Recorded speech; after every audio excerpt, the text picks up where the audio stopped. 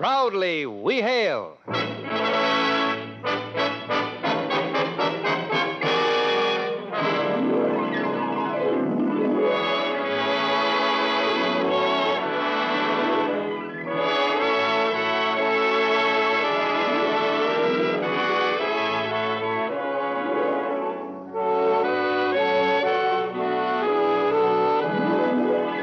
York City, where the American stage begins, here's another program with a cast of outstanding players.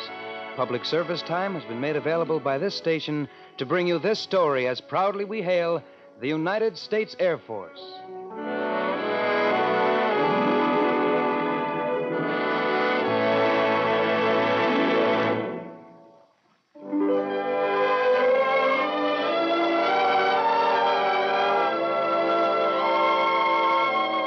Our story is entitled Conquered the Future. Proudly we hail the missile men of the United States Air Force, the men who have, in reality, conquered the future. Our first act curtain will rise in just one moment, but first. High potential. What do those two words mean to you? To a young man concerned with his future? Well, they can mean success in his chosen field, because the young man with the high potential in today's specialized world is the one with specialized training. Now, you can get that training as an airman in the United States Air Force. Today, Air Force schools all over America are graduating skilled specialists in literally hundreds of jobs. Previously unskilled men are now highly qualified X ray technicians, aircraft repairmen, and intelligence specialists. And these are only a few of the wonderful assignments open to ambitious young men. There's a job to suit every aptitude and interest. So if you're of military age, well, now is the time for you to decide on your future. And your Air Force offers some of the finest specialized training to be found anywhere. Yes, the young man with the high potential for success is the one with the good training. So start building your future today by becoming an airman in the United States Air Force. The friendly people at your local Air Force recruiting station will be only too glad to talk it over with you and give you complete information, so see them soon. And now your Air Force presents the proudly we hail production, Conquered the Future. The Matador guided missile has been added to the long line of perfected weapons developed by the U.S. Air Force to assist in the defense of the nation from enemy attack. But although no pilot guides this deadly craft to a pinpoint target, hundreds of men, skilled technicians, are needed to get the Matador into the air and then to read the complicated instruments which tell where the missile is going. Maneuvering the dials with a delicate touch, guiding it to its destinations, and finally pushing the magic button when the target is reached. These men are trained for their jobs at Air Force schools, trained in electronics, mathematics, mechanics, and other sciences to do a job in which one mistake could cause death or injury to hundreds or thousands of innocent people. The courses are stiff, but the results are worthwhile. Ours is the Tactical Missile Squadron, and tactical missile squadrons are divided into four sections the assembly and checkout section, maintenance, launching and guidance. One important as the other and indispensable to the squadron operation. The missiles are received at the assembly point, crated, and here they are put together and checked out. Now, this may sound like a routine job, but it is important to remember the Matador is not a bomb. It more nearly resembles a fighter plane and is powered by a turbojet engine. It has nearly as many moving parts as any aircraft, sometimes more after special recording equipment has been installed for test runs. Well, assembly and checkout is my section. We keep a pretty tight schedule, even under normal conditions, but somehow conditions are never quite normal. But let's hear the story of one of my men who, as they say, fly the Matador. I was at my desk one morning. Assembly, Captain Davis. Yes, sir. Yes? Yes, I do. Uh, no, sir, I haven't received that yet. I see. I see. Yes, I think it can be worked out, Colonel. Yes, right.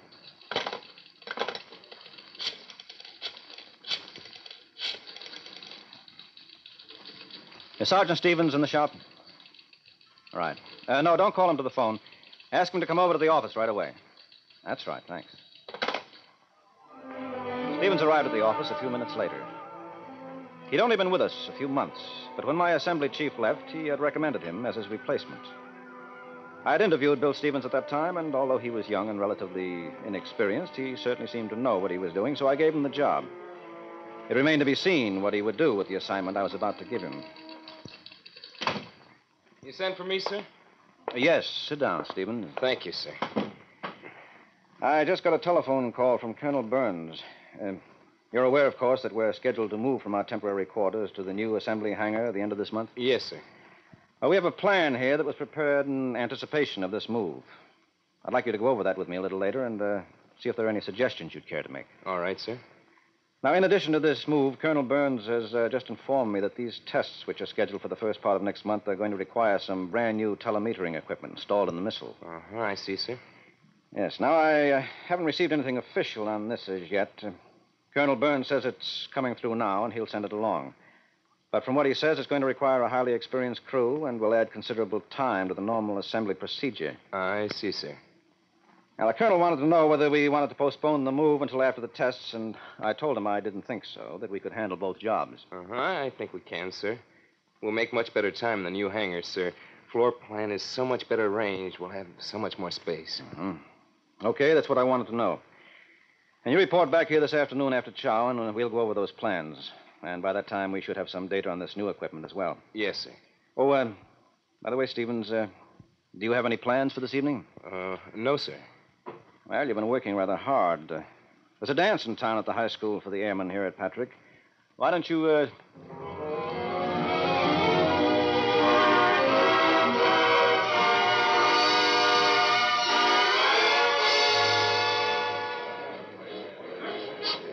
Doris, this is Bill Stevens. Bill, Doris Young. Oh, how do you do? Nice to know you, Bill. Doris is just your speed, Bill. Brainy. Yeah, she's a teacher. Imagine this cute number a teacher. Huh? Only fourth grade. I'm bigger than they are. The Bill's the one I was telling you about, Doris. Real smart. Oh? Now, if you two will excuse me, I'll go get us all some punch. Um, I. What do you think of our Florida weather? Oh, I like it. It's warm. Uh, yes. Yes, it is warm. It's nice, though. You like teaching? Oh, yes, yes, it's interesting. Uh, I guess it would be. Do you like your work? Oh, gee, yes. It's just fascinating to. Uh, I mean, Yes. well, I'm sorry. The trouble is that we don't get a chance to talk shop much. Oh. Uh, do you have any hobbies? No, not exactly. Uh, unless you call fishing a hobby. Of course. Do you like fishing? Living here in Florida all my life, of course I do. Of course, it's most likely quite different where you come from. Well, I've never done any ocean fishing at all. I've been too busy since I've been here, and to tell you the truth, this is the first time in my life I've ever seen an ocean. Really? Imagine that. Uh-huh. Sure like to try some deep sea fishing on my next leave, though. Would you? My brother has a boat, a charter boat. Oh, gee, that's nice. Oh, I could never afford. I mean, Um, uh, I. That is, he, he wouldn't mind if I brought someone along sometime. gee. Well, sometime. I mean, maybe. Uh, I'd love to have you come. that's great. Well, I'll, I'll let you know.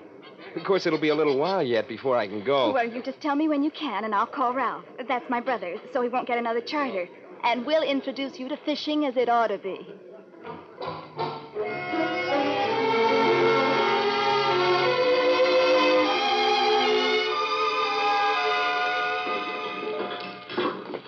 Oh, morning, Captain Davis. Anything special you want to see, sir? Uh, how are those telemetering devices doing? Giving you a lot of trouble? Well, Sergeant Stevens is working on them, sir. He never seems to stop. He's over there and back if you want to talk to him, sir. Oh, yes, I see him. Thanks. Uh, Stevens, how are you coming along? They tell me you've got everything rolling, anyhow. Uh, just about. Oh, it's you, Captain. Yes. Some job. What did you say, sir? I said you're doing a fine job. Oh, thank you, sir. You think we'll get under the wire? Yes, sir, I think so. Okay, stick with it. The Personal example Bill Stevens was setting had injected an enthusiasm into the section such as I had never seen before. Of course, everyone was anxious to make the move. We've been operating for a long time in inadequate space. But the extra work involved was tremendous, and this in itself often acts as a dampener of enthusiasm. However, in this case, it was the reverse.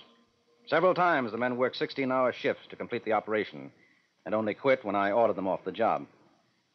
But no matter how long the others worked, Stevens was always there a little longer. Oh, I told him what I thought of him, and he said to me. Oh, come on. Forget it. There's a good movie on at the base theater. Come on, let's go. Anyone see Bill Stevens? Yeah, over in his bunk. Asleep? And all this racket? He came in with the rest of us after work. Been sleeping ever since. Bill, Bill. Hey, Bill, wake up. Oh, what, what's the matter? What's the matter with you? Six o'clock on a Friday night and you're sleeping? Oh, gee, I just dropped Yeah, you're working too hard. Listen, though, I got something hot. The squadron's been transferred to TAC. Tactical Air Command? Yeah. Hey, that's great. Yeah, you're darn right. Think of what it means. It means that the Matador is out of the experimental phase. We're a combat outfit now. That's right. You think we'll be transferred? Not right away, anyhow. We're going to be right here with the Missile Test Center. Uh huh. I see. And that way we'll be getting the benefit from the tests being conducted here. We'll probably hold our launching in conjunction with the tests. Right. Oh, that's great. Hey, hey, fellas, you hear that? What? We've been transferred to TAC. Transfer to Tactical Air Command was well planned. With the squadron holding their launchings from Cape Canaveral, the result was an economical and efficient operation. Progressive refinements on squadron techniques were to be merged into a finely integrated weapons system. The Matador was on its way as a tactical weapon. You are listening to the proudly we hail production, Conquered the Future, and we will return to our second act in just one moment. Are you a service veteran? Well, if you are, then listen real carefully because this message is just for you. You may be qualified to enlist in the United States Air Force in a grade that will surprise even you if you possess one of the critical skills needed to keep America's air defense strong. The Air Force offers you an opportunity to put your skill to work and at a higher grade and higher pay than you may realize. The Air Force needs experience and know how gained in the armed forces. And now, thanks to the new Career Incentive Act, you can put your service gained skills to work to your best advantage by returning to the armed forces as a member of the Air Force team. You write or visit your Air Force recruiter for special prior serviceman's folder. It's full of important details. You'll see why. Today and tomorrow, you're much better off in the United States Air Force. You're listening to Proudly We Hail. And now we return to Act Two of Conquered the Future.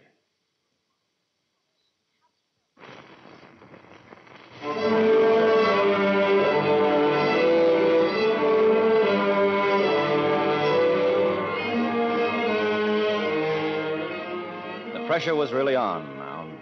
We all had a job to do, and we knew it. I was glad, though, when I heard that Bill was planning to go to another high school dance. He needed to relax. Nice seeing you again. Oh, it's nice seeing you again, Miss Young. My first name is Doris. If you'd like to. Oh, May- yes, I would. Doris?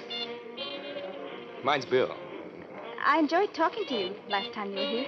I, I guess I talk too much. No, no, it was very interesting. I love fishing. It's so unusual for a girl. I, I mean, uh, oh, would you care for some punch? Oh, yes, that'd be wonderful.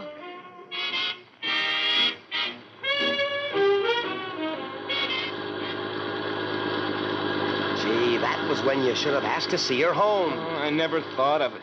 You didn't think. You didn't think. Some other guy's going to beat your time if you don't start thinking. Yeah, but we hardly know each other. And at this rate, you never will. You get her out on the terrace, real romantic like, and what do you do? Start talking about some old fish that got away. He didn't get away. That was the point. Huh? Oh, oh, I see what you mean. Hey, I, I did make a date with her A date for what? to go fishing. Fishing. But gee, she likes to fish. I can get a pass the end of next week, I think. So we're going out with her brother fishing. Well, it's something. but- Oh, I don't know. Fishing.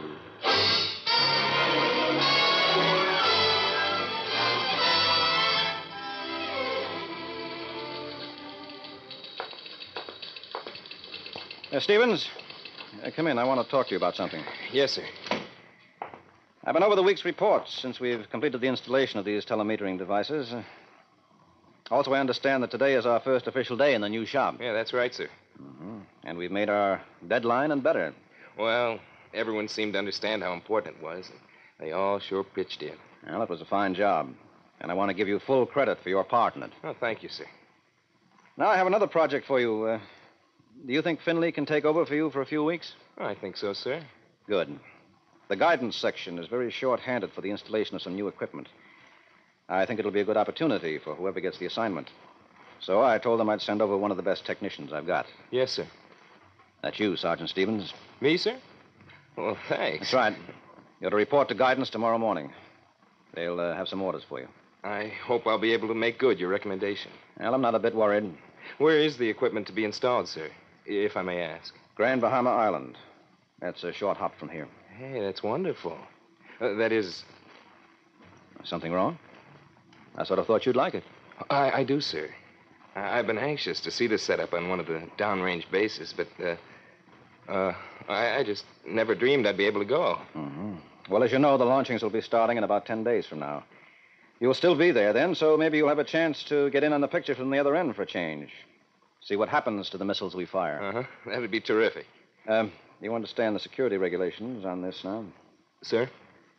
With the firings coming up, they tighten up on everything, of course, and uh, your trip down there can't be divulged to unauthorized personnel. Of course, you haven't a family here, so you'll have no problem on that score. Uh, no, no, sir. Well, good luck. Thank you, sir.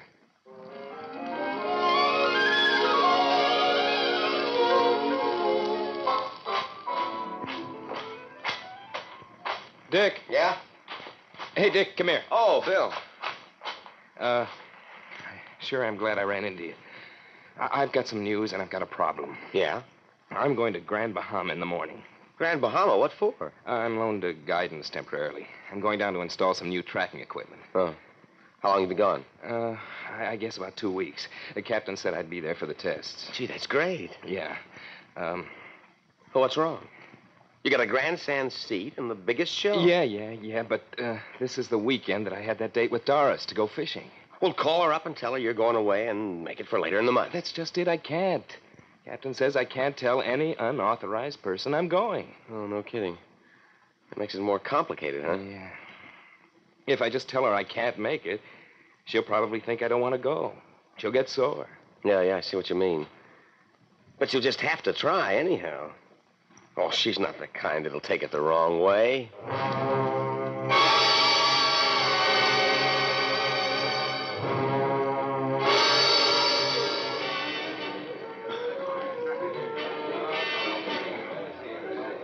Oh, gee, Doris, I, I've been looking all over for you. I, I've got to talk to you. If it's about Bill, I don't want to hear But it. I've got to explain. It, it won't take very long. All right.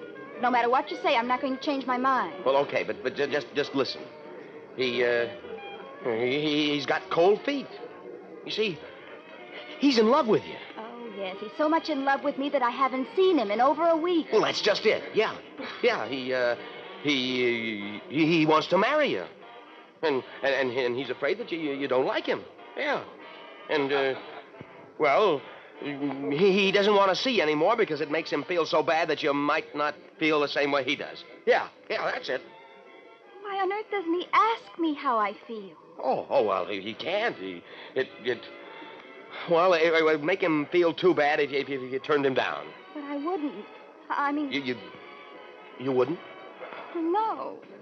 That is, if he asked me. Dick, What? Dick, something awful has happened. You've got to help me. Well, sure, sure. What? I wrote a letter. A, a letter? Yes. I was so mad when he broke our date. Well, well not mad, but well, I guess I, I didn't think he could be very interested. So, so I wrote him and told him I was glad he couldn't come because I. I told him I was going to marry somebody else. Oh, gee, what did you do that? I don't know, but the important thing is he mustn't get that letter. Oh, gee, I don't know how. Oh, gosh, you see each other every day. Don't you get your mail together? Well, Just sometimes. make it a point to go with him. Tell him anything. Just tell him it was a letter I wrote to a girlfriend and I got it in the wrong envelope. Well, I don't Oh, know. you've got to do it.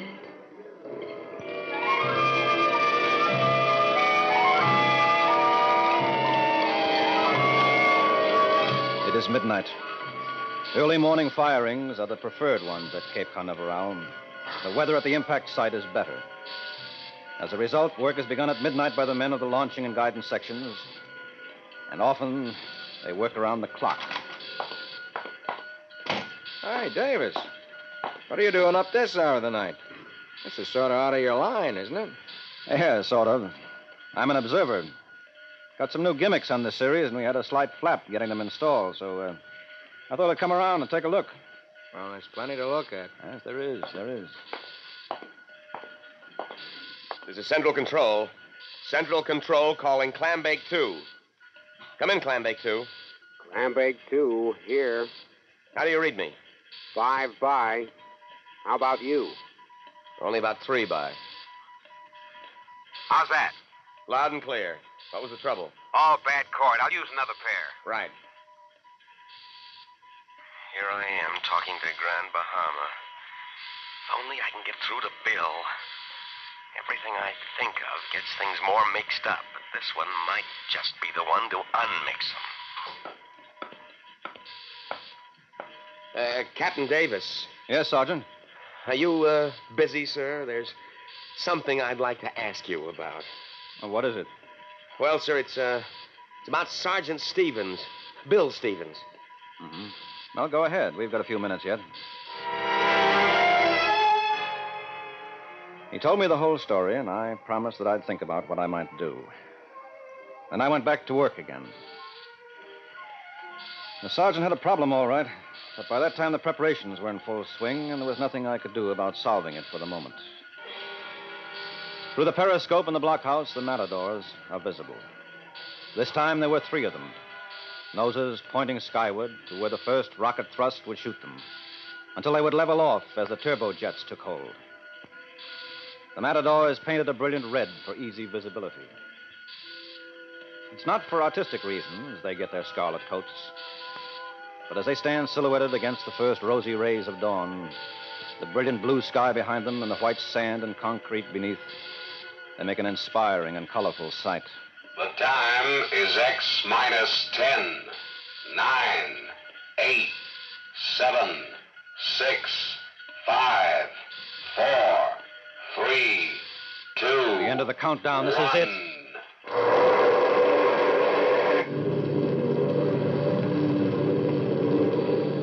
Keating, check with the chase plane right away. Yes, sir. Central Control to Crosby 1. Central Control to Crosby 1. Ten, nine, eight, seven. Come in, Crosby six, 1. Five. Come in, Crosby 1. Crosby three, 1 here. two, We're on her tail. Everything's okay. Over. Right, sir. Keating? Yes, sir. I think Crosby two's coming in now, sir. Okay. Yes, Crosby. Come in, Crosby 2. We're right there, Sergeant. Ten, Over. nine, Roger. Eight, seven, six, five, four, three, two. Two of them off. One, One to go.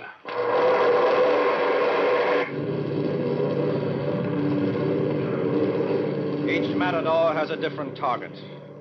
Each is tracked carefully to it and then finally pointed into the sea and destroyed. Today, the matador and the men who, yes, fly it, have been placed in the defense service of the nation as an integrated weapons system. The future is conquered and will continue to be.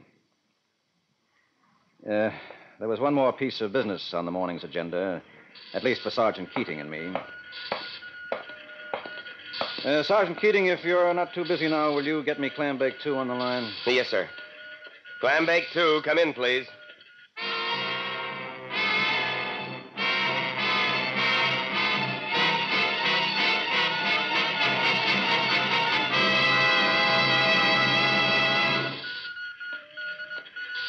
Sergeant Bill Stevens. Sorry to be so long getting to the control room. I was in another area. Uh, this is Captain Davis, Sergeant. Oh, yes, sir? I want you to listen carefully. Yes, sir. now, Sergeant, uh, uh, there are times in a man's life Captain when. Davis. Huh? Sir, the letter. It, it didn't get mailed. Returned. No stamp. Wait a minute, just a moment, Sergeant. I'll be able to talk to you later. Uh, uh never mind, Bill. Thanks. I- I'll uh, see you when you get in here. Uh, yes, right. Oh, Keating, what the devil now? She gave it to her little brother, and he got so interested in the stamp that he kept it for his collection and dumped the envelope into the mailbox without it. Phew, what a relief. Oh, sir, I, I don't know how to thank you anyway. That's all right, Sergeant. That's a pretty good man who wants to help a buddy out as much as you did. You know, Sergeant, I, uh, I think we might help things along if uh, we had that Miss Young here the morning he comes in and reports to me. But you catch him before and do a little orientation. Hmm? Yeah, swell. She'll be there. That'll be easy after what I've been struggling over.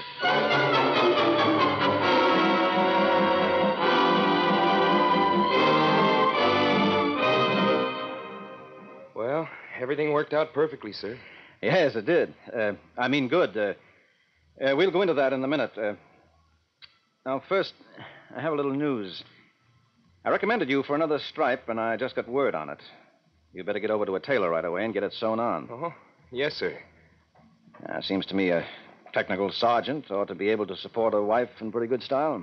If he had a wife, sir. Well, uh, Sergeant Keating tells me if a fellow was to ask the question, he could be pretty sure of an affirmative answer. Mm-hmm. That's what he told me, too, sir. Yes, well, uh, if you'd step into the next office, I think you might find the girl. Doris? That's right. Yes, sir. Let me know how it all comes out, hmm? Yes, sir.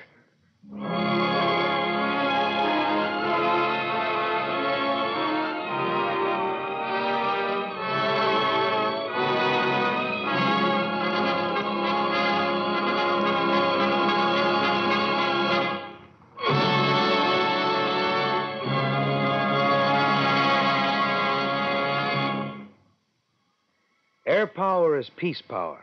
And today, the United States Air Force is seeking alert and ambitious young men to become airmen and help safeguard the peace of our country.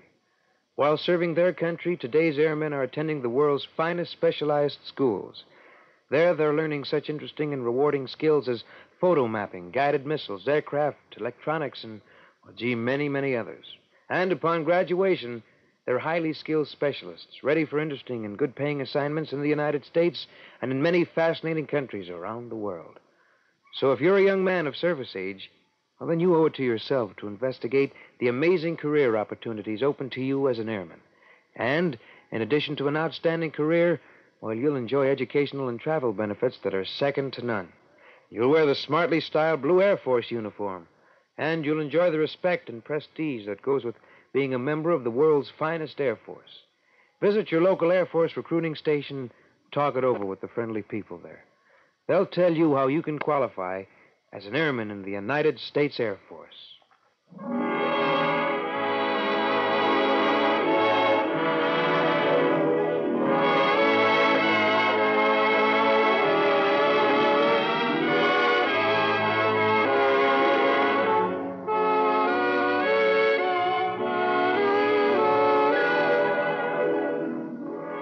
This has been another program on Proudly We Hail, presented transcribed in cooperation with this radio station. Proudly We Hail is produced by the Recruiting Publicity Center in New York for the United States Air Force, and this is Dick Herbert speaking, and inviting you to tune in the same station next week for another interesting story on Proudly We Hail.